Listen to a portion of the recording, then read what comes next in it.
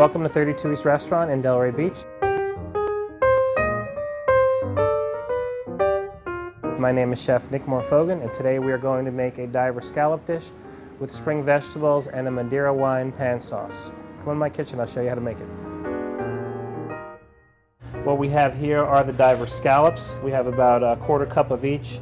Uh, English peas, asparagus, fava beans. We also have some red pearl onions, and we have some pancetta. We also have a little bit of spinach, and we have some herbs. We have some chopped thyme and some chopped sage, about a tablespoon or so of each. We have some Madeira wine. We're to finish the dish with a little bit of sherry vinegar. Uh, we're going to start off by seasoning the scallops with a little bit of kosher salt and uh, some fresh cracked pepper. We have a hot pan. We're going to put some olive oil in that hot pan. We're going to place the scallops in the pan carefully. They don't really take as long as you think they take, but they take about uh, a couple minutes per side. A couple of these are actually done. Is you set them aside and you keep these warm. We're going to put a drop more oil in the pan and we're going to throw in the pancetta. There's a little bit of fat coming out of the pancetta and we're going to just go ahead and throw in all the vegetables. The onions go in as well and those are red pearl onions again. We're going to add a little bit of chopped thyme to the dish and we're going to add some chopped spinach. Take out the vegetables now that they've been cooked in the pan, we're going to deglaze this pan with some uh, of the Madeira wine.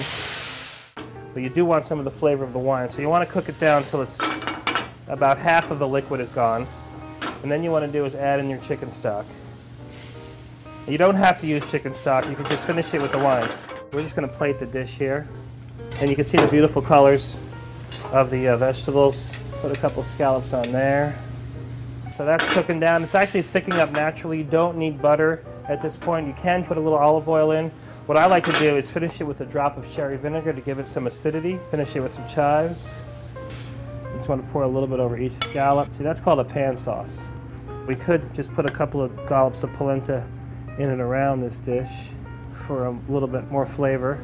This is our dish, uh, seared diver scallops with uh, spring vegetables and soft polenta and a Madeira wine sauce and uh, we welcome you to come and try it. Today we're doing a dish with uh, diver scallops uh, and spring vegetables and um, with, with the Madeira wine pan sauce. So sorry.